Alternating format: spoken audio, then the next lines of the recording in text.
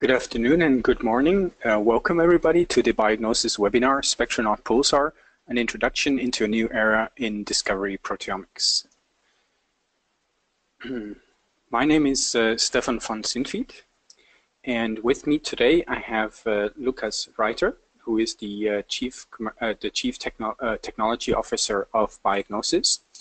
and today in the webinar we will cover a very brief introduction of Biognosys, before I give the floor to Lukas, uh, who will then speak about the uh, next generation proteomics and uh, Spectronaut Pulsar, um, followed by a Q&A session where we can cover all your questions about uh, the new workflows, the new software, or any other questions you may have about Biognosys workflows. So very briefly, Biognosys at a glance. Um, Biognosys is a spin-off from the ETH Zurich, from the Ruedi Aebersold lab, and we were founded in 2018. Um, we develop cutting-edge methodologies for next-generation discovery and targeted proteomics.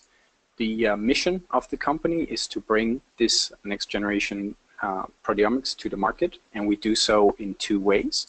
On the one hand, we provide uh, contract research services, so people pay us to do proteomics projects for them.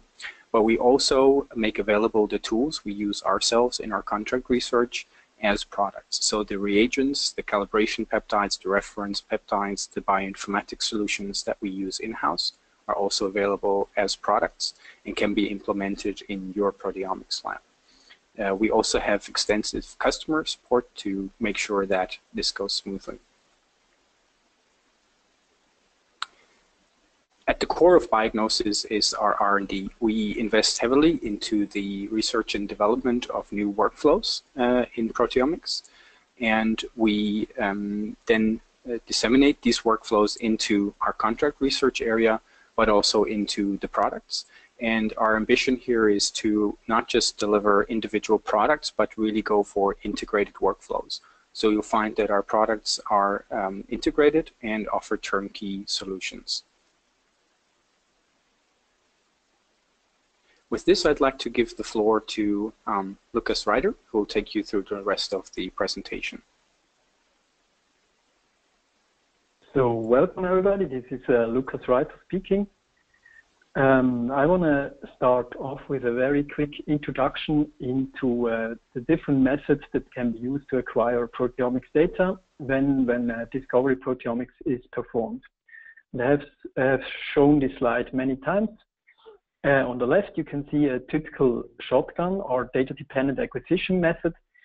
It's just a dummy method in this case, but you can see the typical structure of these kind of methods.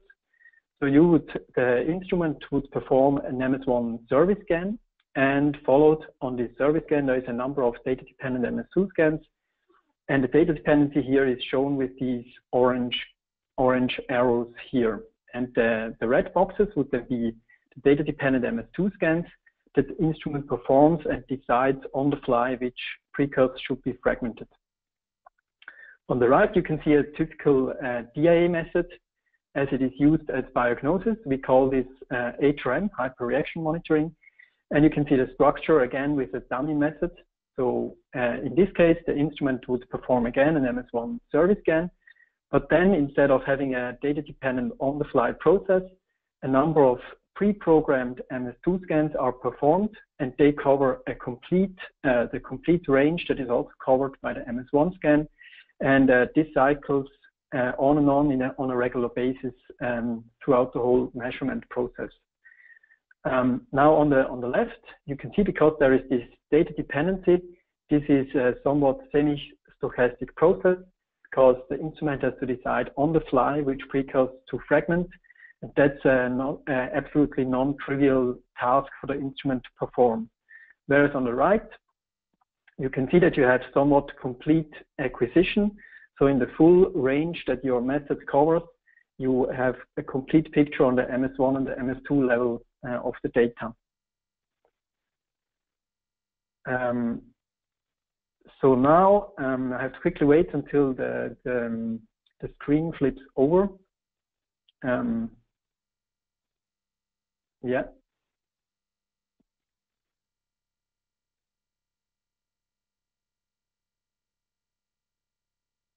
Yeah, so here it is. So there are two main uh, ways how this data can be analyzed or how the DI data can be analyzed that I would like to introduce to you. And these two major um, methods are a so-called peptide-centric way of analyzing the data and also a spectrum-centric way of analyzing the data.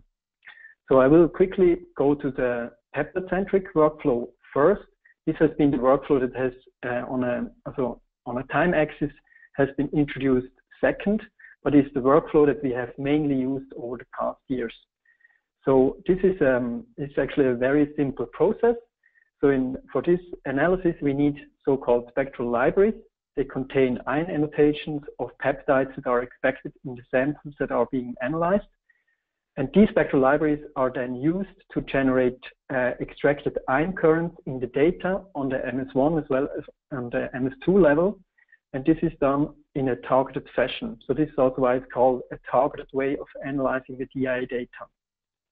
The whole process is depicted on the right. um, you can look at the data in, on, from different angles. Uh, you can look at the spectrum, um, a typical spectra, or you can also look at it like normally MRM data is displayed with the time dimension on the x-axis. The second way how the data can be analyzed is the so-called spectrum-centric way of analyzing the data. And I have just uh, highlighted a few publications over the recent years that have followed this route of analyzing the data. So the special thing here is that the MS2 spectra of the DI data are uh, pre-processed, which makes them uh, makes the spectra then amenable to, to standard search engines. So the search engines can then search this uh, pre-processed data. And the only thing you need as input is a FASTA file or a file of protein sequences to, to search, search the data. and this is also depicted um, on the right. So here you can see that, uh, for instance, two, uh, two peptide precursors were fragmented in the same precursor selection window. So it gives, uh, gives rise to a mixed MS2 spectrum, but these adaptive processes can still process the data um, despite the, the, complexity in the MS2 spectrum. So I will again try to switch the, the slide. Um, takes a little time.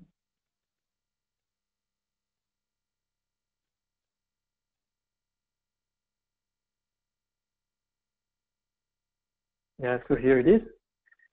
So this is just um, a, an overview of selected publications over the recent years to, to show you the development in the DIA field over the, over the recent years. And um, uh, it starts off around 2000, where for the first time the principle of multiplex, multiplexed peptide acquisition has been published.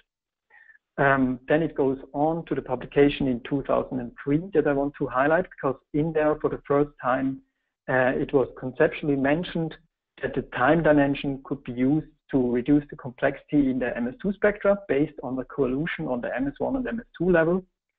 Then in 2004, the term data independent acquisition was born. Um, then in 2000, around 2006, for the first time, a DIA workflow was commercialized by Waters. And then there was a time where um, there was somewhat steady state in the development or not that much was happening. And then in two, 2012, the publication from, from the Aebersold laboratory came out where they described the targeted analysis of DIA data, which um, resulted in somewhat of a boost in the, in the development in the DIA world.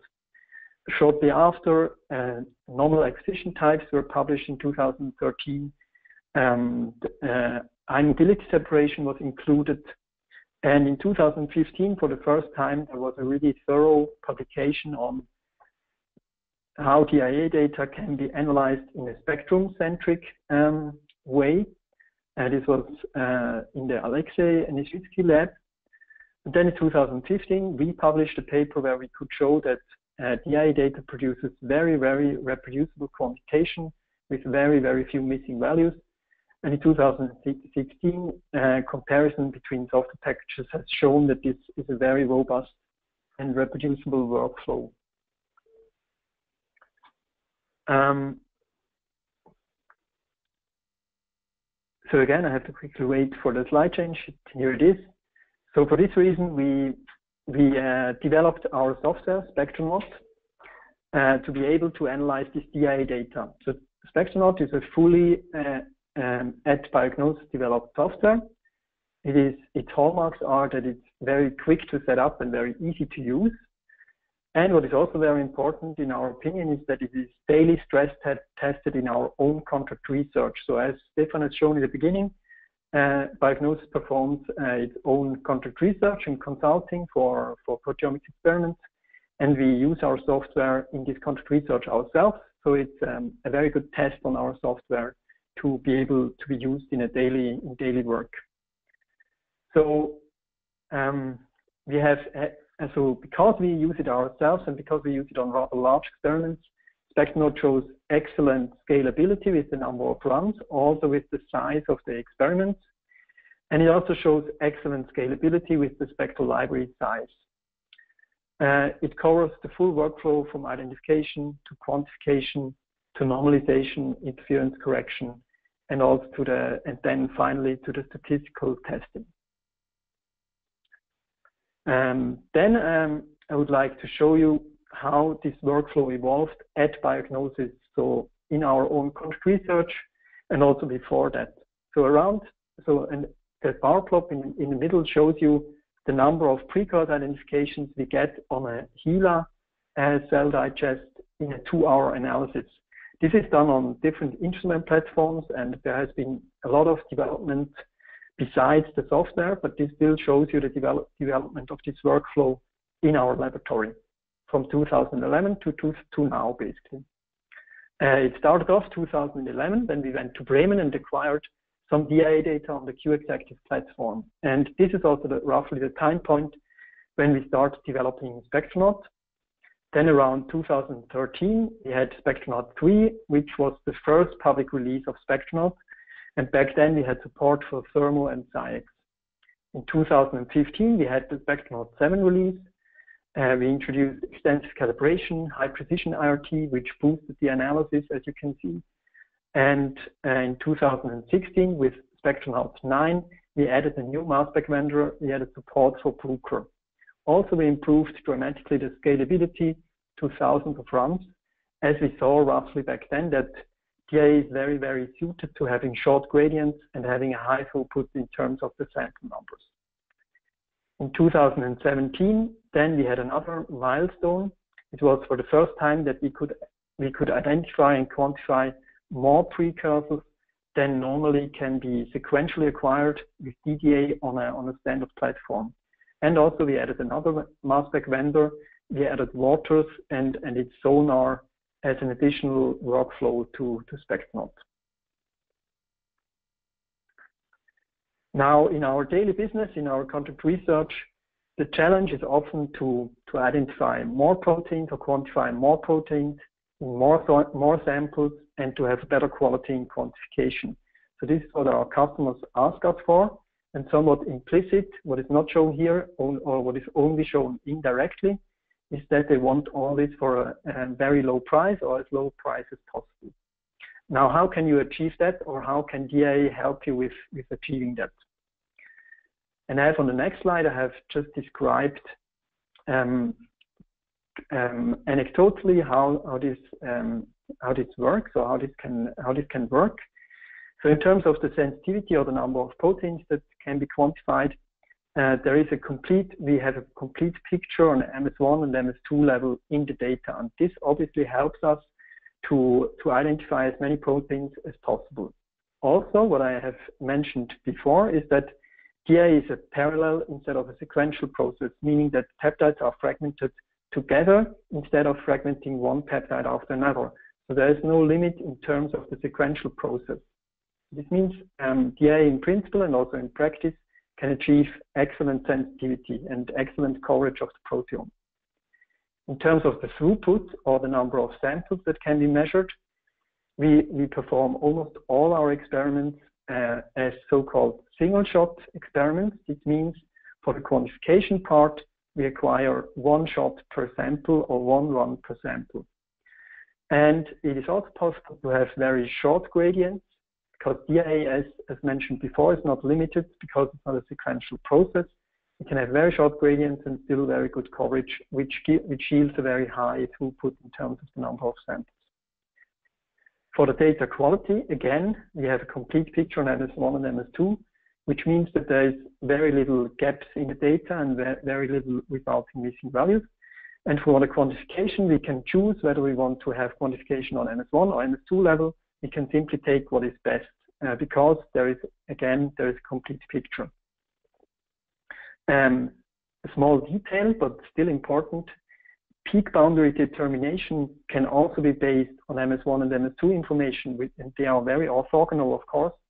And because you have uh, these two orthogonal uh, information pieces, peak boundary det determination tends to be a little bit more accurate uh, because you have these two uh, lines of evidence available. So this makes the quantification better, it makes precision of quantitation better. Now I have a few slides with uh, highlighting these, these three points. So here you can see a single liver tissue sample analyzed with DDA and HRM, and we simply compared the, data, the number of data points and also the sensitivity between the two methods uh, in these single shot acquisitions. And the take-home message here was that in, that in these liver tissue dye tests, we could quantify roughly twice the number of peptides. Uh, so this is on peptide precursor level, and we could get roughly one order of magnitude more sensitive. Uh, for the throughput, I have this slide here, what we have also preliminary presented at the ASMS this year. So we had we had um, access to a, a, number of 1,500 samples that very interesting from the Di Diogenes consortium. And these are correspond to plasma samples that have been taken in four clinical investigation days. So the first time point corresponds to the baseline. And after eight weeks of weight uh, loss, again, some plasma samples were drawn from these roughly uh, a little less than 500 uh, individuals. And after six months uh, weight maintenance, again a plasma sample was drawn, and then finally for a sub um, um, for a subpopulation of these individuals, after one year uh, weight maintenance, again um, a plasma sample was drawn. And below you can see the technical setup we used to measure these 1,546 samples. So we acquired these using 40-minute gradients, so rather short gradients, uh, in capillary flow, meaning that we had a very robust LC setup uh, using a Waters XT uh, UPLC M class uh, connected to a Fusion Lumos. And in a pre preliminary data analysis we performed using Spectronaut, um, we processed the data in one go in the Spectronaut software. So this also refers to the scalability of the software in terms of experiment size. Um, we analyzed the data with a peptide and protein FDR of 1%, and using these criteria, we could quantify roughly 500 proteins in, um, in every individual run. Um, we also had QC samples regularly interspersed on these 96 well plates, and uh, the median CVs for these QC samples spread all over the whole experiment they were 15% uh, in, in, terms of median CVs. So we are very satisfied with this quantitative performance of the preliminary analysis, and we will now continue to, to analyze the data in more depth. But this shows that basically with DIA, a very high sample throughput can be achieved. In terms of the reproducibility, I have uh, two slides for you. So in this case, um, it's focused on the quantitative precision. Um, what you can see here is uh, repeated injections again of these liver tissue digests and a comparison between DDA and DIA.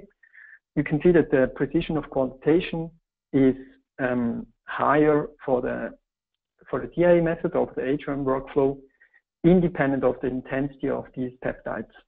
So as a as a result, the uh, DIA shows lower variance or lower CVs across replicate injections.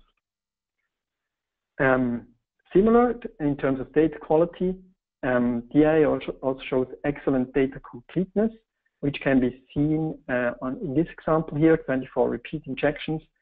Um, the, there are almost no uh, missing values in the HRM case, there are, of course, a few missing values or quite a lot of missing values in the shotgun case. So because shotgun is a semi-stochastic process, it leads to incomplete data, which can also which can only be partially revealed using MS1 alignment processes. And HRM provides a complete picture on MS1 and MS2. That's why it results in few missing values.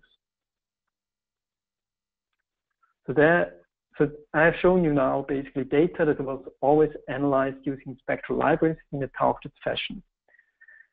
So there is a there is a but here because we needed to generate spectral libraries for all of what I have shown before, and this causes um, questions or it, it leads to questions. People often ask us, should I generate a project-specific spectral library or should I use a resource library? At Biognosys, we typically use project-specific libraries in our contract research, but yeah, you can see here that all of these questions uh, render the workflow somewhat complicated and it's not um, and it's not absolutely clear what is the best way of analyzing data or how to create a spectral library. Um, so of course it would be great if either a spectral library could be generated simpler or if it wouldn't be if it wouldn't be necessary at all.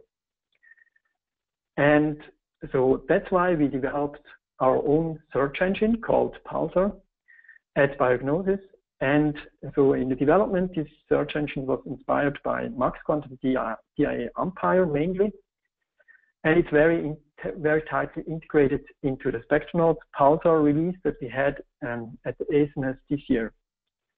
Um, Pulsar is a very scalable search engine, meaning it scales well with the search space size, or in other words, the protein sequences that are being searched as well as the number of variable modifications that are used in the search. It also scales very well with the number of runs that are being searched. and to be able to analyze large data sets, Pulsar is also a very fast search engine. It is also a very versatile search engine, meaning it can search DIA data, DDA data, and also PRM data if there is MS1 information. And you have all the flexibility that you are used to from other search engines how to set up the in silico digest of your protein sequences database. Pulsar is MS vendor neutral, meaning it can already now search Thermo SciEx and Bruker data, and it's relatively trivial to add other vendors as well. Uh, uh, Pulsar controls the FDR on PSM and also at protein level, which is very important with these very large data sets that can be generated nowadays. So Combining all of those features above, um, Pulsar makes spectral library generation even simpler because it's integrated into Spectronaut and because it's a fast and scalable uh, search engine, and because Pulsar can search DIA data directly, uh, it, it renders the spectral library generation completely non-necessary if it is chosen, chosen to search the DI data directly. So this means the DI data can be analyzed simply with a FASTA file or a, a file of protein sequences. And uh, you may ask what is special about Pulsar. Uh, so we implemented a dynamic PSM stratification into Pulsar, which means that we can satisfy the FDR cutoff that the user chooses, which is typically 1%, also for subsets at the PSM level, so for instance, for modified peptides. Um, it is tightly connected to spectral library generation, meaning Pulsar can very, very efficiently generate spectral libraries from large data sets.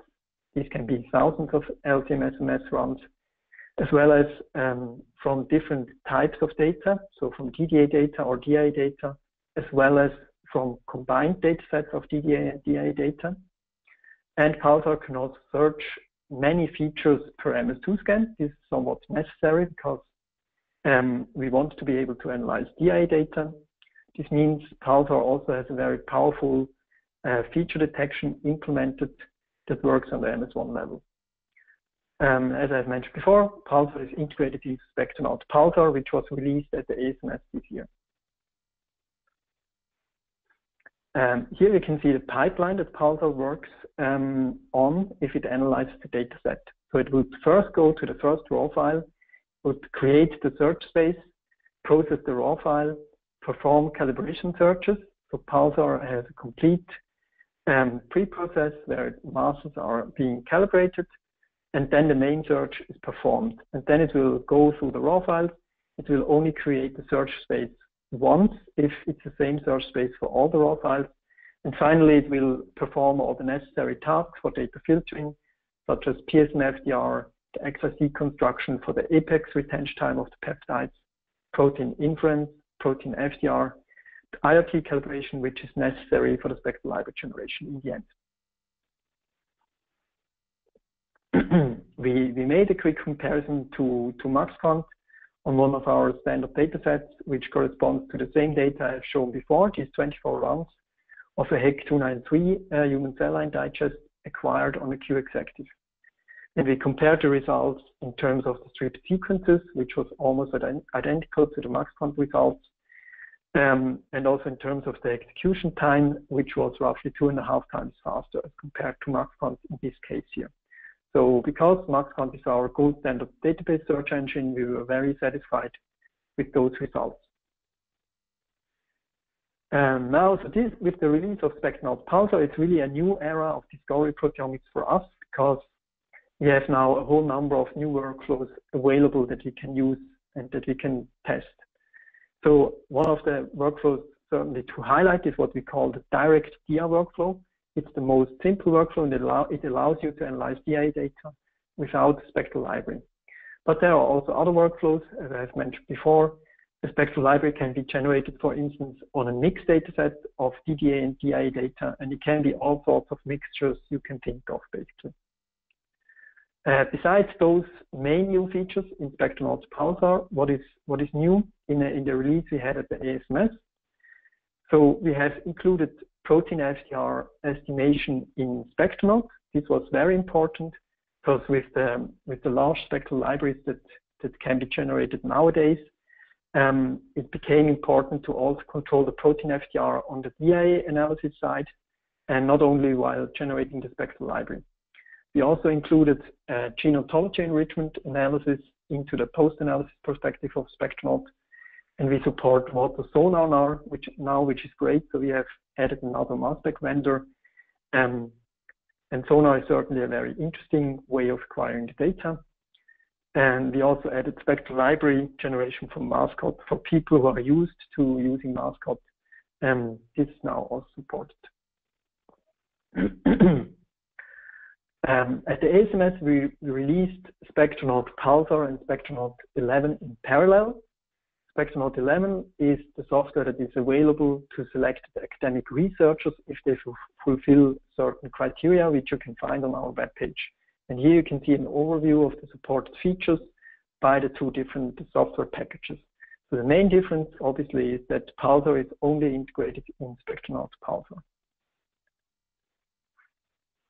And now I want to say a few words about direct DIA workflow. So again, so this means you can search your DIA data simply based on a FASTA file and the typical settings you are used from search engines, such as variable modifications and so forth. Uh, the pros are, um, of course, that it's a very simple and straightforward quantitative workflow. There is no need to generate a spectral library. This means there is also no need for additional mass spec time to generate spectral libraries. Um, it also means that you can search special modifications ad hoc. Um, you have the same flexibility as you are used to from searching uh, DDA data or from shotgun workflow. On the con side, um, the maximal depth reached is lower as compared to the analysis with a very, very deep and optimized spectral library. Um, also, the computation time is somewhat higher to what you are used from the targeted analysis of DIA data, as a rough guideline, you can expect a computation time that is in the same range as the gradient length you used for, for an and S1. At the core of Spectronaut is still our main workflow, our HRM workflow. Um, it's similar to, to the SWATH workflow. Um, it's the workflow that, has been published in 2012 by Gillet et al. Uh, it uses a spectral library for the targeted analysis of DIA data. Uh, typically, DDA runs are used to generate a spectral library. And this is the workflow we also continuously further develop ourselves. besides all the other workflows. Uh, then we have a workflow that we call DFD. So this is uh, very similar to the direct DIA workflow I've shown before, but it means um, that you are performing a two-step process. So first, you are searching your DIA data to generate a spectral library. And these can be any DIA data. Uh, and then in a second step, you're using this spectral library to analyze the DIA data. Um, this is very similar to HRMS, but it, there is no need for DDA data to generate a spectral library. And then there is also a combined workflow, which we call DPD, um, which is DDA uh, plus DIA library-based DIA workflow. And again, this means you can search DIA data and DDA data together to generate the spectral library. And then you can use this spectral library to analyze your DIA data. And here you can, for instance, have different ways of combining data. You can, you can use DDA data from uh, resources, for instance, published data that you can find online, and you can, you can combine it with your quantitative DIA runs to generate a spectral library. This is certainly a very promising workflow. And if we, uh, if we have to put all these workflows in a two-dimensional map, um, this is what is shown here. So on the lower left, you have the most simple and most straightforward workflow, the direct DIA workflow. And then on the upper right, you have the most complicated, but um, potentially also the most uh, workflow providing the highest number of protein identifications, identifications, which is the DPD workflow. Uh, the very important thing is that all these workflows are not mutually exclusive. So this means you do not have to acquire your data in a special way to be able to analyze it with one of those workflows. so in our, in our um, investigations, we have found that a single optimal DIA method will perform best for all of those types of uh, analyzing your data. So this means you don't have to decide upfront. You can basically acquire your quantitative DIA runs and you can then afterwards analyze it with any of those workflows without a major drawback. Um, and now I have also some, some example data, uh, which we, um, we acquired on a set of lung tissue samples on a Q-Exactive HFX, which was launched this summer at the ASMS. We analyzed the data with the two main workflows, the HRM workflow and the direct DIA workflow. A quick description of the samples. So it, uh, the samples corresponded to um, tissue samples from healthy individual, uh, from healthy tissue and corresponding cancerous tissue um, from 12 individuals. Uh, we also had two cancer subtypes in there, adenocarcinoma as well as squamous cell carcinoma. And we generated an extensive, deep, uh, project-specific spectral library using high-precision IRT the details you can see below. but we also analyzed the data um, in a direct DIA workflow as shown afterwards. The DIA acquisitions were done with two-hour gradients, intermediate length of gradients, and the methods uh, you can also see described below. Um, with the, the method used here, we could acquire all the quantitative data within less than three days on the Q-Exactive HFX and we uh, performed the analysis using a peptide and a protein FDR of 1% that is now available in Spectronaut as well in the release of this summer. And here you can see a preliminary analysis um, using the deep spectral library I have uh, shown you before.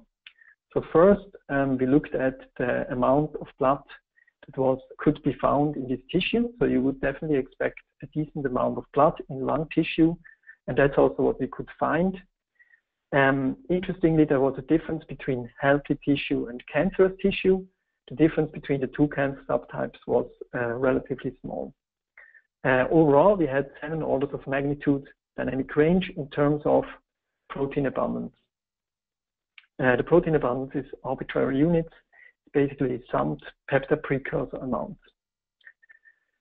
Um, Overall, we could quantify more than 7,000 proteins in this data set, and we could quantify uh, 4,500 proteins in all 24 runs or in all 24 samples. we had a data completeness of more than 90% on protein level, even though these were different tissue samples from different individuals or different patients. then we also performed uh, some exploratory data analysis on this data set. Uh, so the first thing we did was performing a principal component analysis on these 24 samples. And we could see that on PC1, on the principal component 1, we had basically a complete separation between healthy tissue and cancerous tissue. Um, we would have expected uh, a difference there, but that is, um, it was very striking that there was such a, a large difference between these two sample types. Uh, on principal component 2, we could see um, to a certain extent separation between the two cancer types, but this was not as, as clear as between healthy and cancerous tissue. Uh, this is the same visualized in a two-dimensional um, heat map uh, with unsupervised clustering performed on both dimensions. And again, you can see that the health tissue clearly separates from the cancerous tissue and uh, that within the cancer subtypes, there is also differentiation, but it's a bit, little bit less clear. There's, there's quite a lot of heterogeneity within the cancer samples. Um, then I went on and also had a look at some at published literature, and I found a, a paper from the Tenzer group. Um, they have analyzed a different set of 20 uh, lung samples, also from healthy individuals and cancer uh, tissue. It was acquired on a completely different platform, on a VOX platform, and analyzed.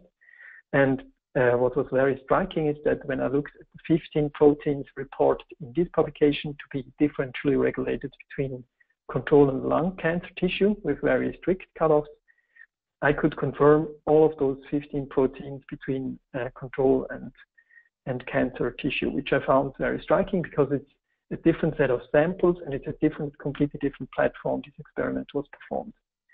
And if I then pick out a few of those proteins, for instance, caveolin 1, uh, one can see a clear difference in expression level between healthy tissue and cancer tissue.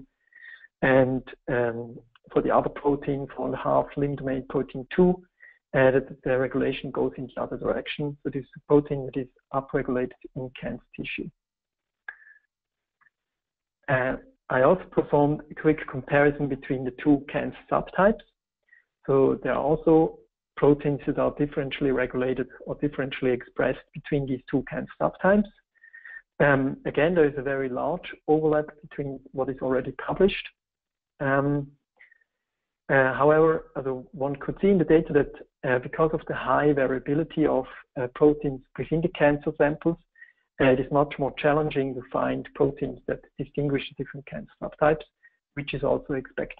Uh, two examples are again show, shown below always with information on MS2 and MS1 level. And just three example peptides or two example peptides shown in this case. Um, as I mentioned before, we analyzed this dataset with two major workflows, the direct DIA workflow, where no spectral library is needed, simply a FASTA file, as well as with the deep protein-specific spectral library uh, I have shown before. And here you can see graphically the difference in the data. It's not such a huge difference. Uh, what is very uh, striking is that for the direct DIA workflow, seems like the somewhat a little bit higher expressed 5,000 proteins can be quantified. But because it's the higher expressed proteins, these are quantified with uh, very, very good reproducibility and with very, very few missing uh, data points. The coverage, as mentioned before, for the analysis with spectral library was in the range of 7,000 proteins cumulatively. So the difference between the, these two ways of analyzing the data on this data set is not extremely large. Now, finally, I also have um, screenshots from the Spectronaut Pulsar release. Um, four of the, uh, the most important perspectives are shown on the upper left, the prepare perspective, where you can now generate spectral libraries using the Pulsar search engine. Uh, then on the upper right, you have the review perspective, where you can analyze your data using the direct DIA workflow now or with a standard HRM workflow. On the lower left, all of this is united in the post-analysis perspective, where you can see the, the differentially regulated candidates. And on the lower right, as always, you have the possibility to uh, generate a, very extensive report of your data, um, no matter whether it's a direct DIA um, experiment or an HRM experiment uh, no matter which spectral library was used. So in summary, um, I want to, to say that DIA provides excellent sensitivity, throughput, and reproducibility. So these three dimensions I have shown in the in one of the slides in the beginning. Um, Pulsar is Biognosys search engine. Uh, Pulsar is very scalable and versatile. And uh, Direct DIA is a really simple and robust workflow that should get you a very easy start into the DIA world if you uh, are planning on switching or trying it out. And very importantly, one DIA method suffices all the workflow, workflows, meaning that um, you don't have to choose one, one method or another method depending on the type of analysis you want to, to have.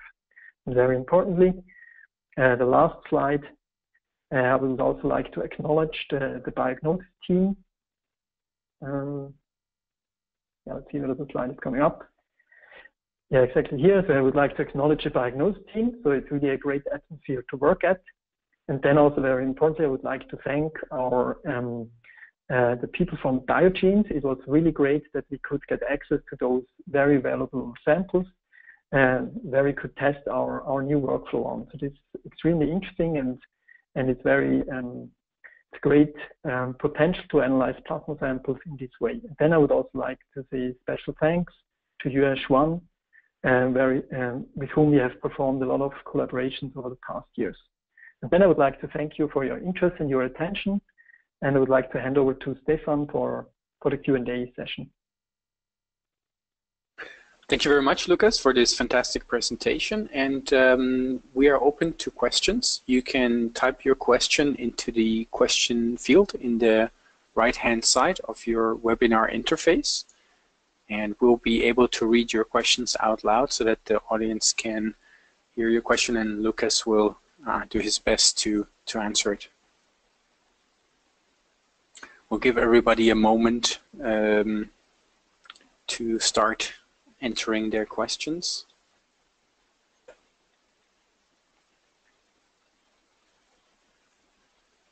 Maybe while people typing this up, a question from my side, Lukas.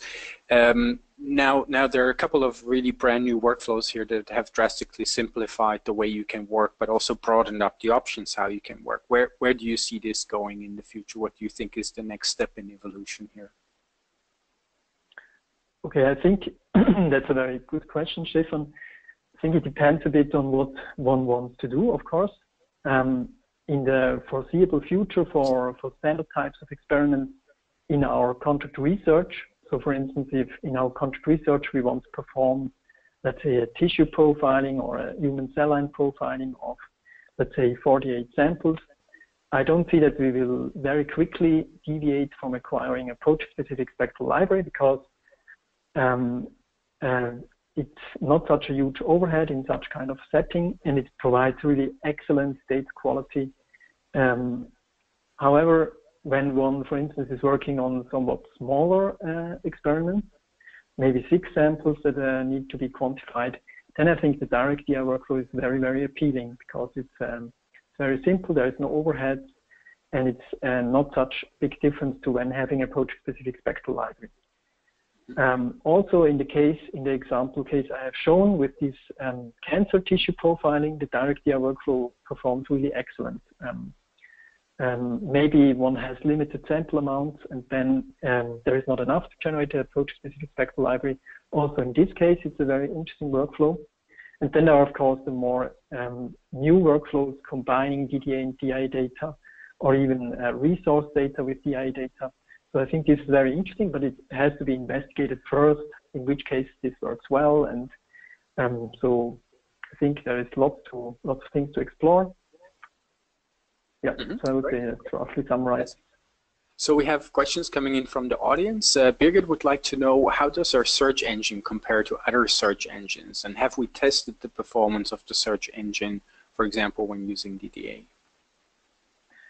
Yeah, so I've only shown one slide here, but of course um, we have done very extensive comparison to existing search engines.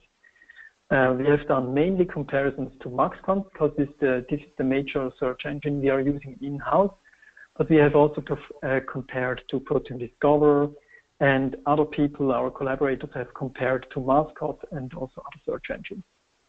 Um, so if I would have shown the complete list of different data types um, we have tested and compared, it would boil down to roughly 20 or 30 different types of data, uh, varying all sorts of different experiment, uh, experimental parameters, also the, instrument. So we had data on the Lumos, we had data on the H platforms. Uh, we had very high MS1 resolutions, very low MS1 resolutions, uh, ion trap data, and so on and so forth. So we tried to make it really as challenging as possible. And this is then the way how we benchmarked the, the search engine. Okay, great. Um, Yarup has a question. He would like to know whether you could elaborate on the PSM stratification method. Yeah, that's also a very good question. So what we are doing is basically we stratify the PSMs according to certain criteria. That's not very different to what has been published in the past. For instance, uh, for PeptideProphet, uh, a stratification by the charge state of the PSM has been performed. And what we are doing is we are stratifying on criteria where it's uh, interesting to control the FDR uh, separately. And I've mentioned this number of modifications, for instance. So, for instance, if I would perform a phosphoproteomics experiment, um, often I will perform the search with variable modifications, meaning I will get as a result non-modified peptides as well as phosphopeptides. Uh, but then in my analysis, I might be interested mostly in the phosphorylated peptides. And when using this PSM stratification now, it means that the FDR will be controlled on the set of non-modified peptides as well as on the set of modified peptides, even depending on the different number of modifications there are on the peptide. So that's that's an advantage um, because it will give you somewhat more homogeneous results. And you, if you continue your analysis with subsets of the PSMs, FDR will still be controlled. Mm -hmm. Okay, excellent. So next question from our audience, from Emmanuel. Um, how do you remove uh, interferent ions in Spectronaut when performing the XIC step for quantification?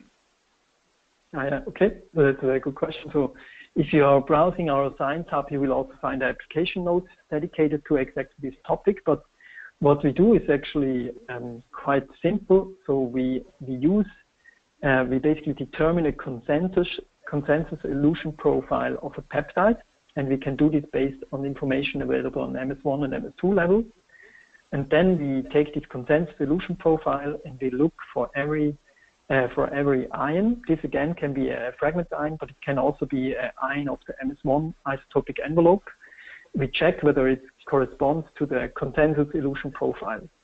And if it does, it will get um, it will get a, a, low interference score, meaning there is a high chance of having an interference. And if it does not correspond to the consensus elution profile, it will get a high interference score, meaning that will, there's a high chance of interference. And then what we can do for quantitation is we can look across the runs for all the fragment ions or all the ions, and we can check whether there is always high interference score. And if yes, it will be consistently excluded for, for the quantitation. So meaning that this will lower your, your precision or your, you will get better precision in quantitation. Right, right. Um, another question on the uh, spectral libraries from the audience here. Uh, Mike would like to know how the DIA and DDA derived uh, project-specific spectrum libraries compare. Are they complementary in terms of the peptides identified?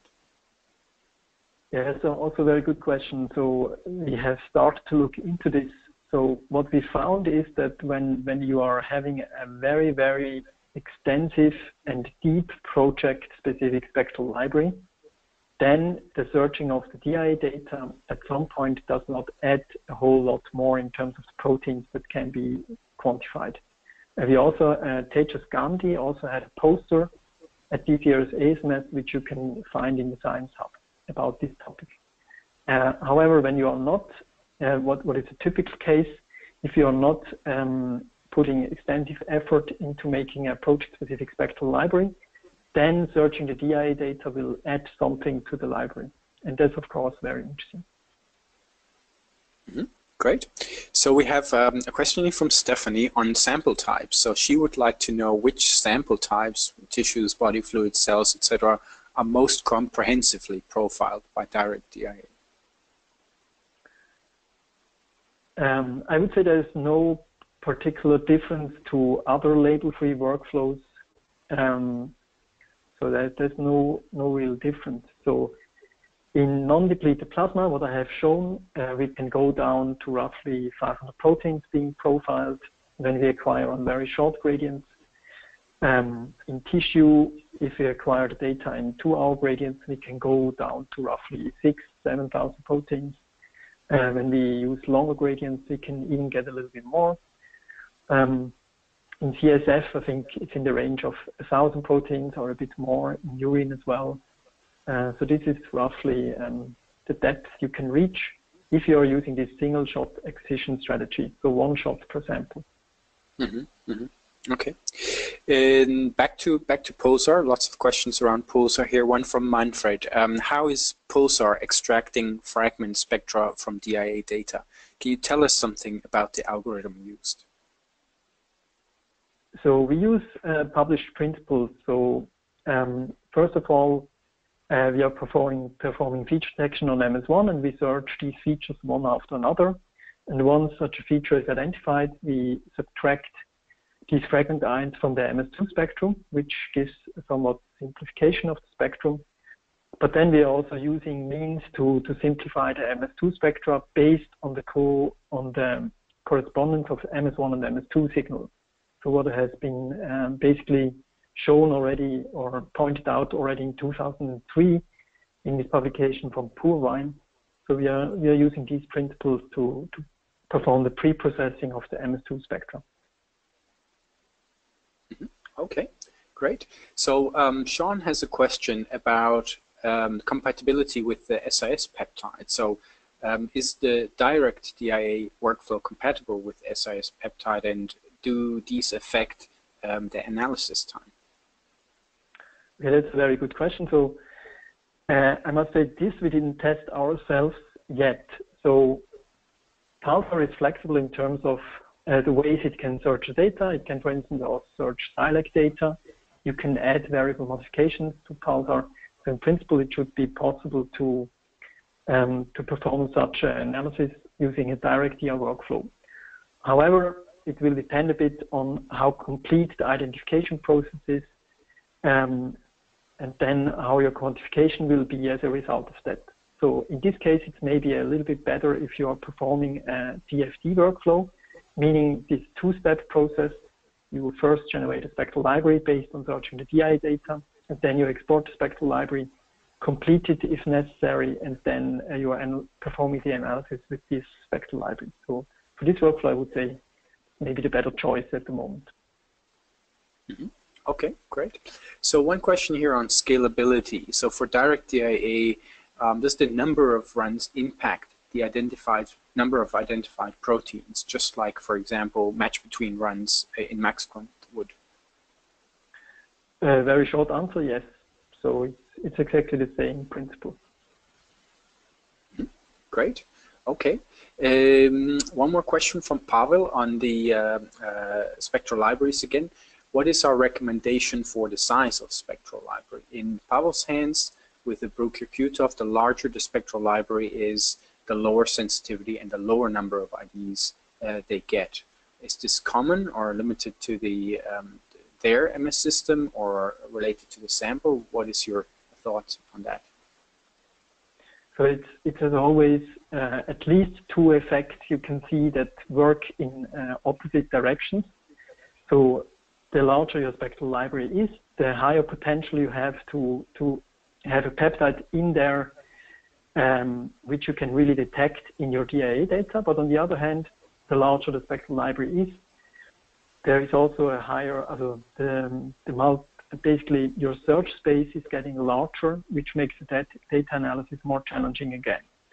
So these two opposite effects, and it's very difficult to say in a specific case which of two, these two effects is the more important one.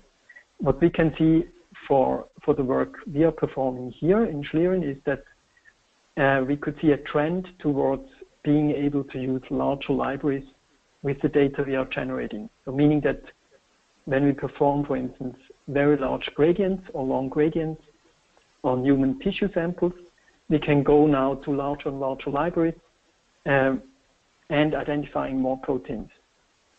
Uh, however, when you would use, for instance, a huge spectral library on a human plasma sample, that's probably not very beneficial because you can only identify non-depleted plasma around 500 proteins. So it will make your analysis worse because the search space is too large. So, and as I said before, typically we, we generate project-specific libraries that are relatively deep, meaning we perform fractionation, and then uh, we have a project-specific library that is quite deep, and this works best in our hands. Okay, great. So one more question from Jarob. Um, he would like to know whether we've uh, tested direct DIA in the context of uh, PTM characterization. Not yet. So we have done a little bit of uh, phosphoproteomics work using spectral libraries. Uh, we have not done this using the direct DIA workflow. And I would think that this is probably quite challenging also. So I would be careful when, if it's for research purposes, it can be definitely tried and will probably also work. But it's for, if it's for a real productive experiment, uh, I would first evaluate how this works because we have never done this ourselves.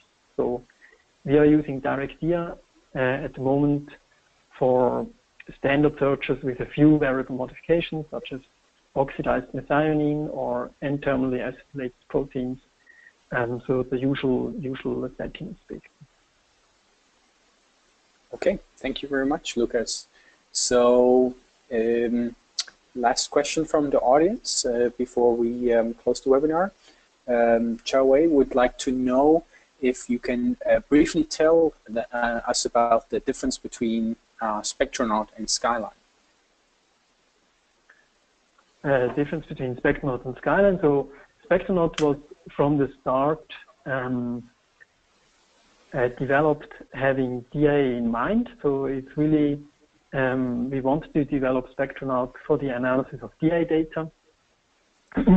and because in these experiments you generate a large amount of data and um, the automated processing of the data is in the foreground. So Spectronaut also allows you to manually change integration boundaries and manually accept or reject peak but that's not, not in the foreground of the workload. In the foreground is really automated processing of the data, automated normalization, automated interference correction, automated statistical detection of differential abundance, such that you can get quick to a final result uh, without having to look through your data manually too long. So I would say that's maybe from from overall from an overall view the biggest difference to Skyline. Okay, thank you very much, Lukas. Um, thank you very much to the audience for your great questions. This has been a great Q&A. Uh, apologies to those uh, whose questions we couldn't take in the Q&A. You can always reach us at support at biognosys.com with any questions you may have to us. Um, and with that, I would like to thank you once again for taking your time to attend the webinar. Thank you, Lukas, for this great presentation and Q&A and I wish you all um, a great rest of the day. Yes, I would also like